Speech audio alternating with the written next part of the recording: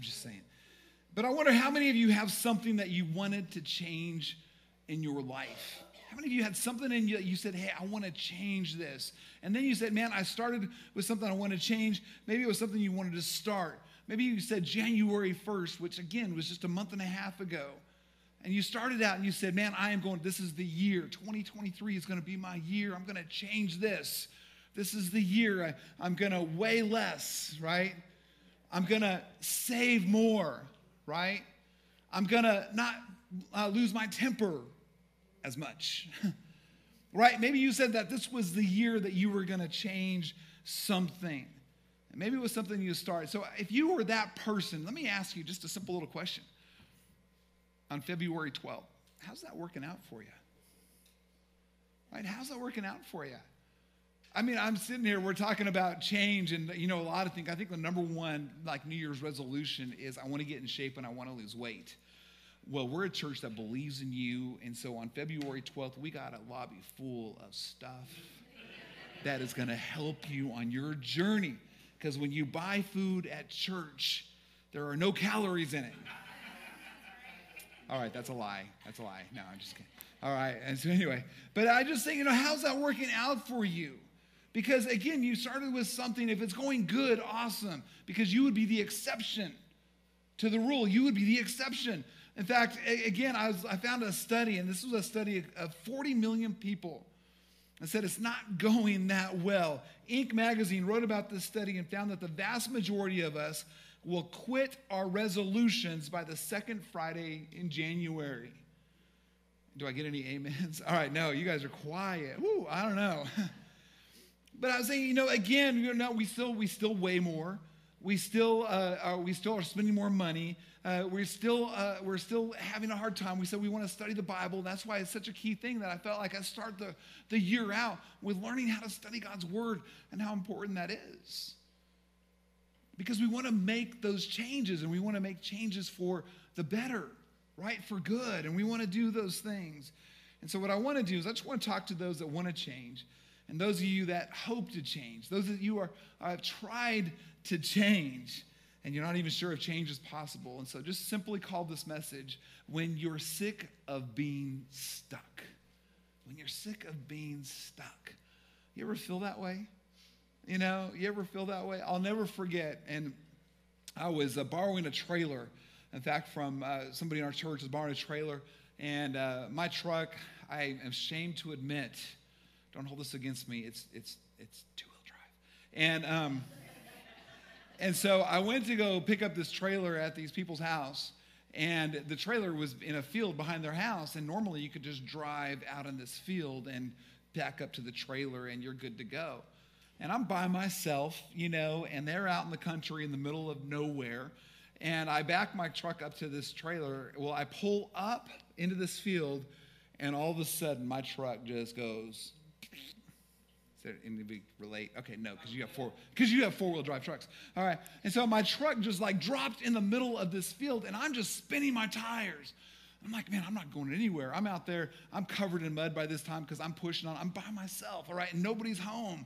And so I'm like, man, I don't know what I'm going to do. I have no idea. I'm stuck. I'm in the middle of this field. How am I going to get out of this stupid little mess? And stupid Dodge two wheel drive truck. And, um, anyway, so so what ended up happening, it was funny. I called I called Rick and I said, Rick, you're not going to believe this, but I'm at so and so's house and I'm in the middle of the field. He goes, you know what? I'm not too far you, from you. I'll come and help you. So Rick pulls up in his Jeep Gladiator with a tow strap. And he doesn't even have to come out into the mud. He just like, we get this tow strap, and he's just like probably 50 feet away, latches on and pulls me out of the mud. And uh, I ended up not getting the trailer. I'm like, it's not that important. We'll just use my truck. But you know, there's times that we need help. We get stuck in the middle of something or we feel like we can't change. And we need to, man, we've got to have some help to be able to make those things happen. Because on our own, it doesn't happen on our own. And so, again, so I want to talk to those that are sick of being stuck. In fact, in fact, if you want to just look at the person next to you and just simply say that, I'm sick of being stuck. You're like, I'm really not, I'm good. You know, but I'm just saying. And so, again, so if you feel like many of us, sometimes you're frustrated and, And uh, man, sometimes you're even ashamed that you can't change, or you made comments, or you talk, try to do some things to do some personal change, and man, you're even afraid to admit those things. And so today, I just want to speak with you, and because you're not alone. You're not alone. No situation is unique. I mean, they're all unique, but you're, they're usually something somebody has gone through before, and there's help for you. So if you feel like so many of us do, you're frustrated, you're exhausted, you're embarrassed, again, you're not alone. So again, like we talked about this last few weeks of what it is to study God's word. In fact, the last uh, few weeks we went through the book of Acts, and the book of Acts told an incredible story of a guy that we're going to actually talk about a scripture that he wrote. And it's the Apostle Paul. Apostle Paul wrote half of the New Testament went through all kinds of different things. And so we're going to talk a little bit about him. He understands what it's like to do uh, to try to do the right thing but not to do the right thing. And this is what he says in romans chapter 7 verse 15 if you have your YouVersion bible app you can go there. The notes are there or you can look up on your bible or you know however it is you want to read the word of god. But this is what it says. It says i don't really understand myself. Anybody been there before? All right for I want to do what is right, but I don't do it. Has that ever happened to you? I want to do the right thing, but I don't. This is the Apostle Paul. Okay, get me, all right? This is the guy. Because I don't want to do what is wrong, but I do it anyway. And then he says, Oh, what a miserable person I am. Have you ever uttered those words? Oh, what a miserable person I am. Pray with me. God, I thank you so much that we can be in this place to study your word. And God, I pray that you would let that sink into our hearts, Lord, that change only happens when we rely and we trust on you. And so, God, as we go through these next few moments, Lord, that, that really we have the power to change, and it's in you, our Lord Jesus. I thank you for that. In Jesus' name, everybody said, so he said, I don't understand myself. I always do what is wrong. I, I, I, I want to do what's right, but it doesn't end up being that way. And so I'm sure that there we can all relate to that. I know I can. And I know that there's been frustration, or you make a decision and you're like, man, you know, I knew that was the wrong decision before I even made it, and I made it anyway. You know, I mean, we've all been there. We've all been down that road. And you're like, what in the world's wrong with me? I tried to change this year. I tried to change it last year. I tried to change it the year before. I did everything they say to do. I set my goals. I made vows. I bought workout clothes. And so I was with a, a guy the other day. They were talking about uh, his wife had a birthday, and was like, "Well, what'd you get her?" He goes, "I got her workout clothes." I go, "Wrong gift, wrong gift, bro, wrong decision." And she goes, "No, actually, I like working out." I go, "Okay, right decision." I could just imagine if I did that. All right, anyhow. You know, I did. I got the daily planner. I made a vision board. I mean, you should see my refrigerator. It has all my goals and everything listed out. And uh, you know, I made sure all of those things. I always had the right intentions, but unfortunately, like anybody, everybody else, and like many of us, we have the right intentions, but we always have the wrong strategy. We have the wrong strategy. Uh, you know, it's just like we, we try to do things on our own. And so that's why I want to speak to you the power of change, how God's word teaches us to change. And if you paid attention to what we talked about the last several weeks of what it is to study God's word, to uh, use soap, right?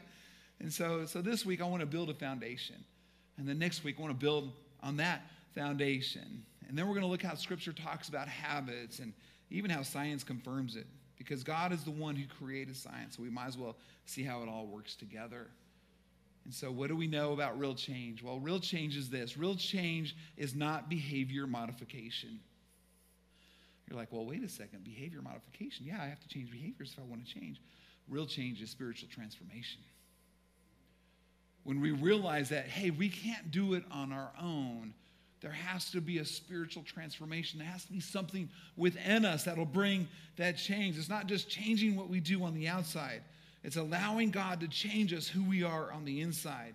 It's not just an outward behavior modification, but real change.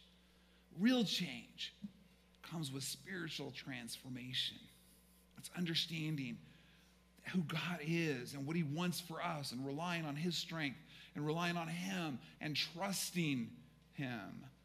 Because I think that's where a lot of us have a hard time, right? We want, God, I want to trust you with this, but you know what? I got this. And God's like, okay, have fun. Let me know how it works out for you.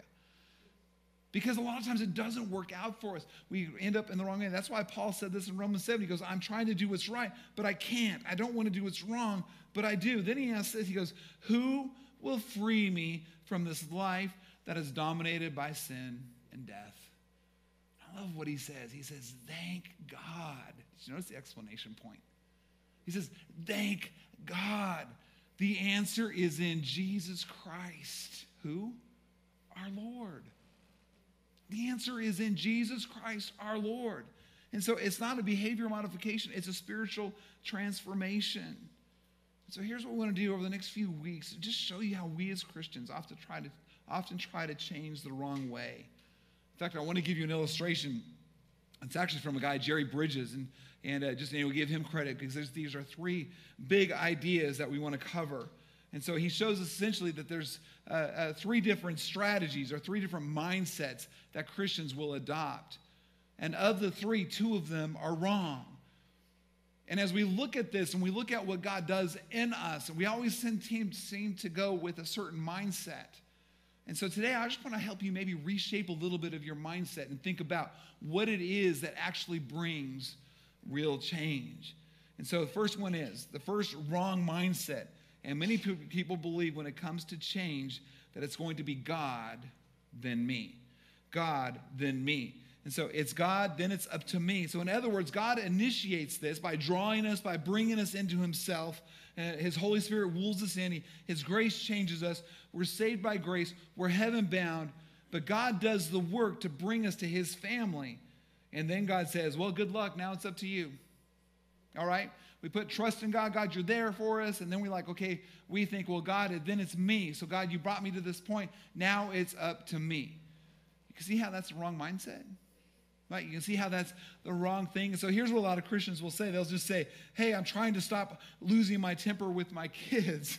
or I'm trying to stop cussing, darn it. you know? And then they use the other word. All right? And so Tamara's like going, oh man, you really did it this time. But again, I'm trying to get close to God, or I'm trying to stop spending uh, four hours a day scrolling on TikTok or the gram, right? Or Snapchat, whatever it is. I got it right that time. All right, you guys are with me. and we're like, God, save me, but we believe it's going to be up to me. It's the wrong mindset. The first one is God, then me. The second one that's wrong is what? It's God, not me. It's God, not me. And so, anyway, so while the first one is about our effort, the second one almost absolves us from any effort or responsibility. Right? We think it's up to God to do it all for us. We think it's all up to Him. And so, again, so there are some Christians who have this mindset it's God, not me. It shifts all the responsibility to God. He has to do everything, and I don't do anything. You can see how that's a wrong mindset, right? I hope you're with me. Are you tracking with me? You guys got quiet real quick. Pastor, you're confusing me. I know I'm confused as well as I'm going through this. But the truth is, for example, if it's God, not me, then I don't like my job. I might as well say, well, I'm going to quit my job for the glory of God. And He's going to provide and bring me a new one.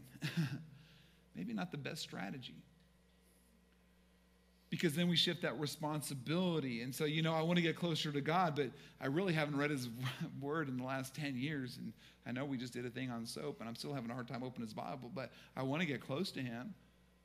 And so it's kind of up to Him, right, to bring me close to Him. No, we have to take the moment and read and look at what God's doing. So if we try to put all the responsibility on God and we take ourselves out of it, so that's not right either. And so you're wondering why I'm not close to God. And so I think about, again, you know, again, the three mindsets. The first two are wrong and dangerous. There's God, there's God, then me, there's God, not me. But here's the actual correct one it's God through me. God through me. Right? When we look at it, God, do it through me. Let me trust in you. Do it through me. Let me rely on you. The correct is actually God through me. In fact, say that with me. Say, God through me.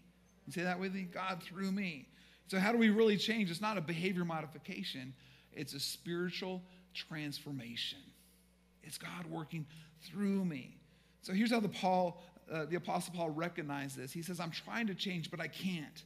I don't want to do what is wrong, but I do. Who in the world can save me? And his response was Jesus. Jesus is the only one who can. So here's the process. This is what Paul is saying. And again, we talked a lot about him in the last several weeks in the book of Acts. Well, here's actually the first Corinthians. This is the book that he wrote. He says, For I am the least of the apostles. He goes, I do not even deserve to be called an apostle. Right? He's looking at himself. He goes, I don't even deserve to be called an apostle because I persecuted the church of God. But by the grace of God, I am what I am. And his grace to me was not without effect. No, I worked harder than all of them, yet not I, but the grace of God that was with me. You see the mind process. He's like, well, guys, man, I was, what a miserable person am I, right? That's what he says. And he goes, man, I am the least of the apostle. This is the guy that wrote half the New Testament. This is the guy that planted a bazillion churches. Bazillion's a real word, look it up.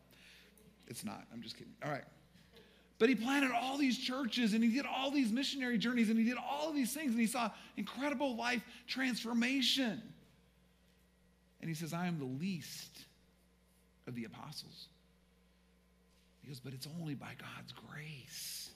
God's grace through me. It was God through me. That's what he is doing. He's all those things. He goes, Man, it's not by my talent. It's not by my education. It's not by my good works. It's not by my effort. It's by what? By what? What is it? The grace of God. It's by His grace. See, you need to understand this. The same grace that saves you is the same grace that changes you. Right? The same grace that saves you is the same grace that changes you, the same grace that changes you. But by the grace of God, it's not without no effect. because, man, I'm not very good. I don't deserve this, but His grace has impacted me. And I am what I am because of His grace. And it did a work on me. Because he even made that comment. He says, Man, I work harder than any of you. I work harder than all of them. He got up earlier. He stayed up later. He was in the film room, all of those things. He uh, was staying after a practice. He was getting there before anybody else showed up. He said, Man, I've worked harder than all of you. Man, and this is the guy when he, he preached the gospel more ferociously and fearlessly. He was beaten and beaten again. He was left for dead. He was whipped. He was snake bitten. Ready? Shake it off. I won't go there. All right. He was shipwrecked. He came back. He was persecuted. They tried to kill him, and he came back. And he says, Yet not I, but it was the grace of God within me. You see, his grace was not out of effect. It was that same grace that saved him, was the same grace that changed him. And the same is true for us.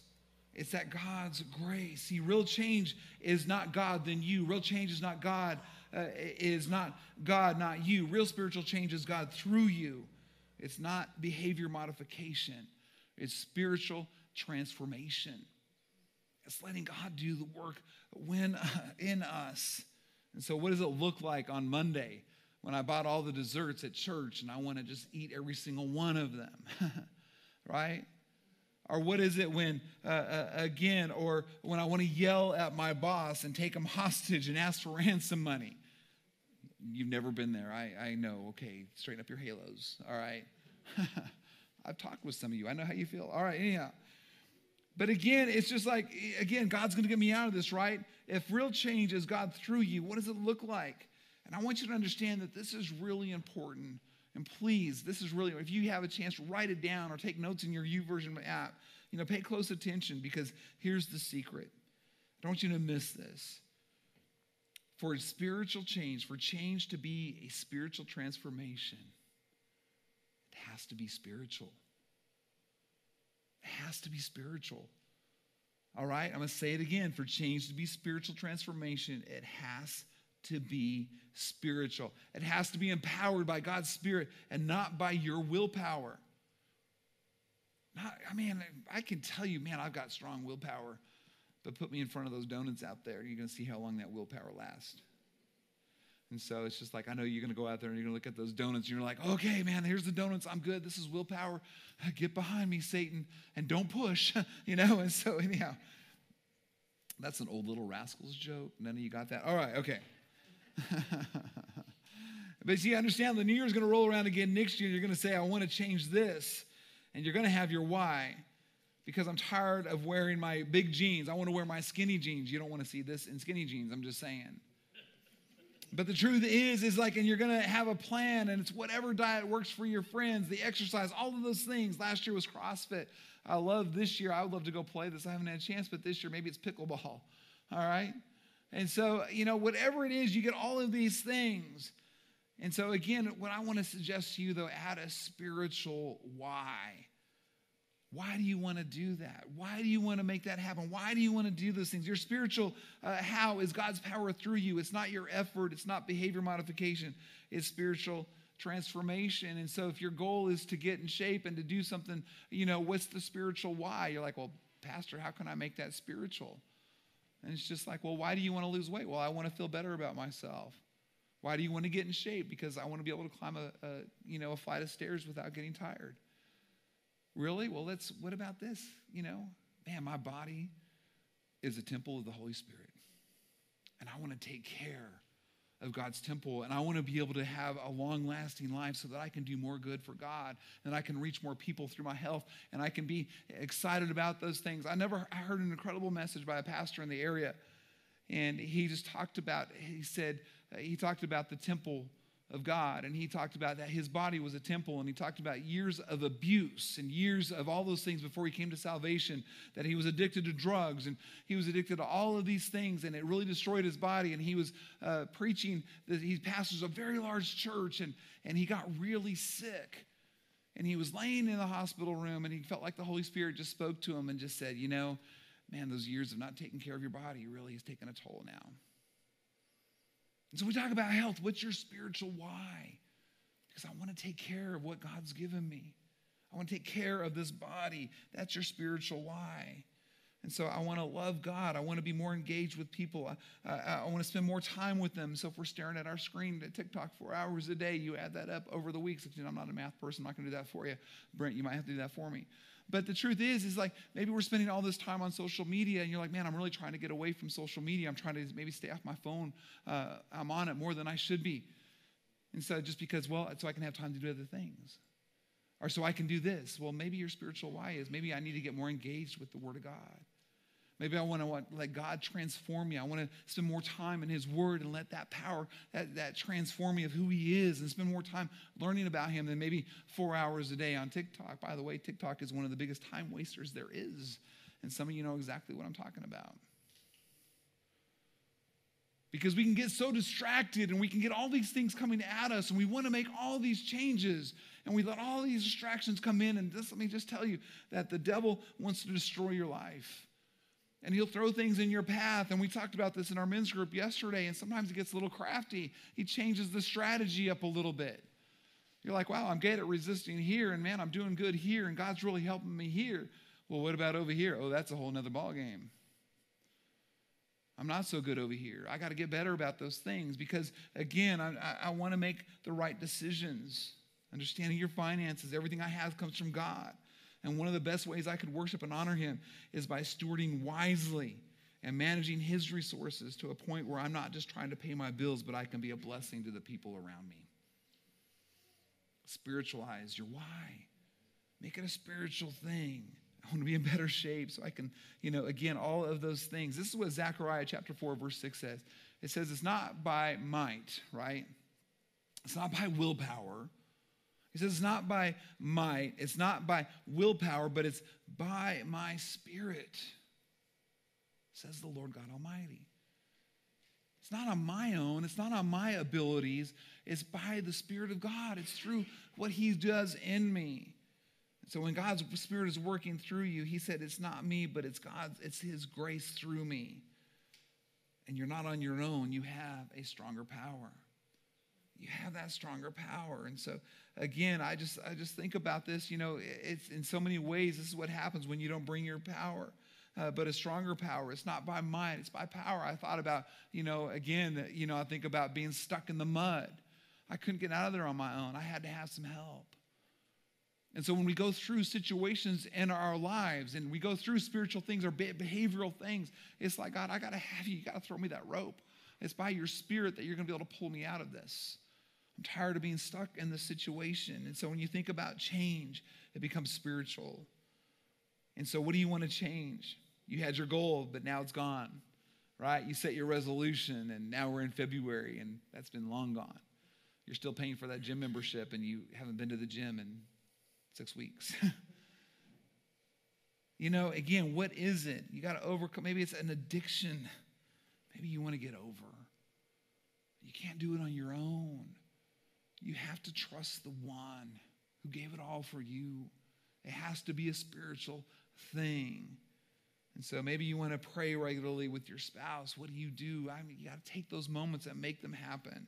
It's a spiritual why. You know, God is a God of order, therefore I want to organize my life. Tamara's looking at me. You need to let God organize your life.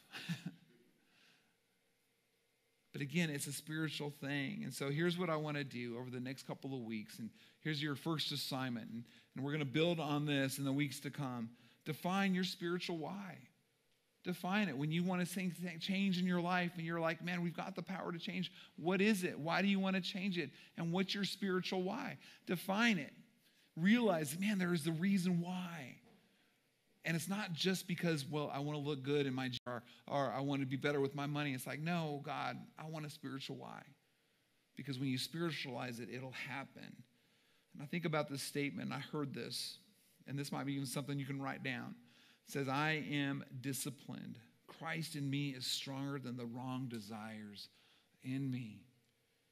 Maybe you wake up every morning and that's your prayer. Maybe that's what it is. It's an affirmation. It's just saying, you know what, today, today when I get up, I'm going to say, I'm disciplined. Christ in me is stronger than the wrong desires in me.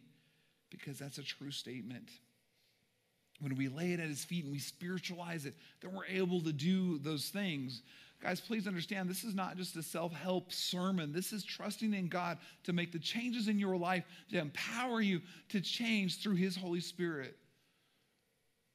And when you're going through difficult situations, we need to learn to lean on one another and to help each other go through those times and, and realize that, you know what, there's some things I can't do on my own. I have to get somebody to walk beside me. I have to get somebody to help me throw that rope and that we can trust God together. I got to have people praying for me, going through a difficult situation. Man, there's times that God will lay people on my heart, and I really try to in those moments just to text somebody and just say, hey, I just want you to know, God, just put you on my heart. I'm praying for you today. And so sometimes we go through difficult things, and how cool would it be to know that hey, you have somebody that cares and is praying for you? That somebody in your life is calling your name before the throne of God. That's where we get our strength from. I'm disciplined. Christ in me is stronger than the wrong in me. And so, again, I think about myself. By nature, I'm not disciplined. you know, I, I struggle and all those things. And I, I went through a major weight loss several years ago. And sometimes I put it back on, and sometimes I take it off, I put it back on. I'm not near what I was. And you can imagine what that was like. Wow, Pastor, you were really, yeah, I was. But I finally came to a point and realized this has to be because I want to be able to do things that will glorify God.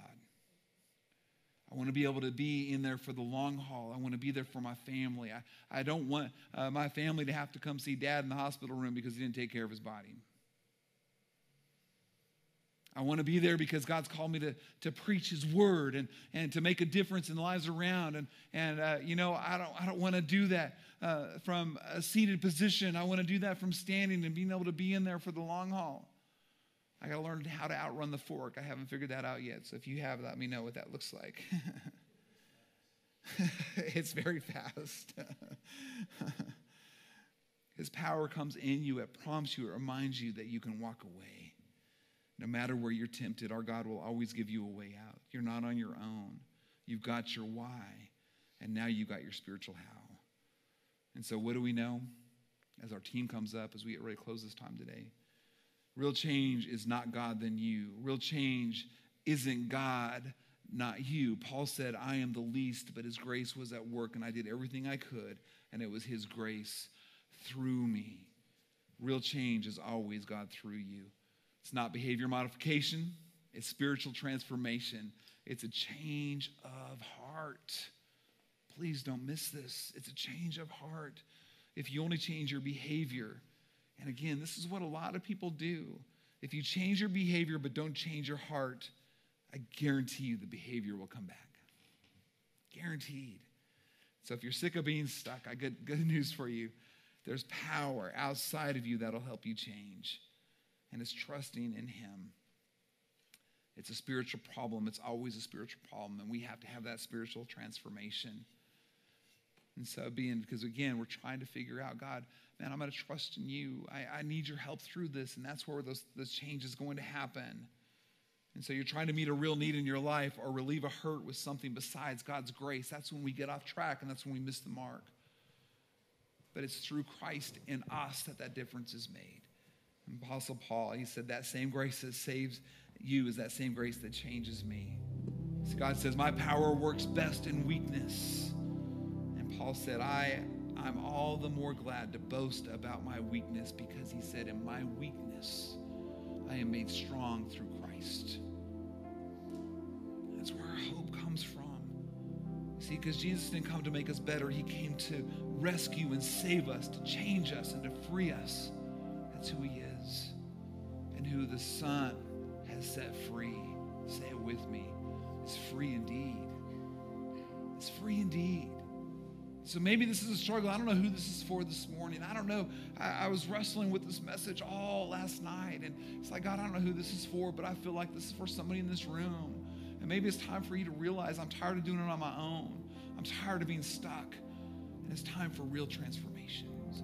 As you keep praying today and nobody looking around, maybe there's our, our those of you in the room as we talk about spiritual change and spiritual transformation. Well, maybe you're in this place today and you're here for a reason and you're watching for a reason. Maybe there's something speaking to your heart right now, and can I tell you that that is the Holy Spirit saying you need to surrender your life to Jesus Christ? You need to give your life to the one who gave it all for you because the Bible says, For God so loved the world that he gave his only begotten Son, that whoever would believe in him would not perish but have everlasting life. And we talk about change and transformational change and spiritual change. And the truth is, is maybe you're here and you don't really know what spiritual transformation is like because you don't know who Jesus is or you don't know what it's like to have him that when you surrender your life to him and you give everything to him. And so today is your moment. Today is your day to say, you know what, I want the change, but I, it's got to be a God change. I'm tired of doing it on my own. And today I want to invite, say, the Savior of the world to come into my life, to change me, to transform me. So that I can all of a sudden make real change through Jesus Christ in me. If that's you today, and you would say, Pastor, I've never given my heart to Jesus, but today I feel that something's speaking to my heart. Today's the day that I need to give my life to Him. If that's you and you would say, I want to give my heart to Jesus, would you just raise your hand right now? Would you respond in the chat? You know what? Jesus died publicly on a cross, and it's no problem to confess Him publicly and to say, man, I'm going to be up front raise my hand and just say, hey, simply pray with me, church? Heavenly Father, thank you for sending your son to die for me. Today I give you my life. No longer to live for myself, but to live for you. Thank you for saving me. Thank you for forgiving me. Thank you for giving your life.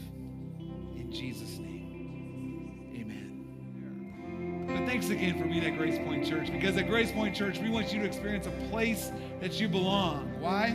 Because we are so much better together.